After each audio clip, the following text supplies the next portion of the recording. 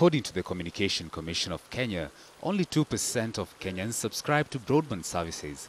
It's also estimated over 60% of Kenyans in rural areas do not have access to internet services. If you think about it, over the last five years, there's a lot that the government has done.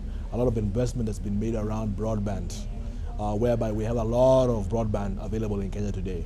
But if you look a little deeper in it, you begin to realize it's really bound to cities and towns and things like those.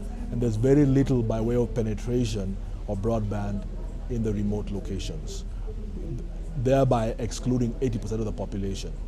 To tap into this gap, technology giant Microsoft, under a public-private partnership with Indigo Telecom and Kenyan government, have launched a low-cost solar-powered and high-speed internet access to rural areas dubbed Mawingu Swahili for Cloud. This technology, think about it as Wi-Fi that you're familiar with in your office or uh, if you're like at home, uh, whereby you have connectivity on a Wi-Fi device.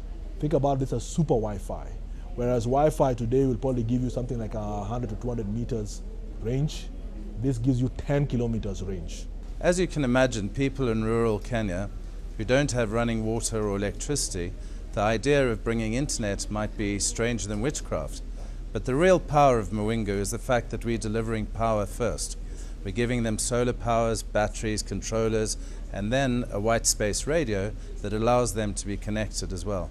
So we're giving them a power utility supported by an internet node that gives them connectivity, power, and the ability to communicate with the rest of the country and the world at large. Ongoing migration from analog to digital signal will see the use of TV white spaces technology in internet access. Mawingu project will utilize these spaces and will reach over 6,000 people in the pilot phase. The reach is enormous. Africa, because of its size and its, and its infrastructure, lack of infrastructure means the reach is very tough to get to. This brand new technology allows us to have that reach that we've never had before. And the investment starts as a micro site. So as the opportunity grows, the investment will grow as well. ICT is estimated to contribute over 10% to Kenya's GDP annually.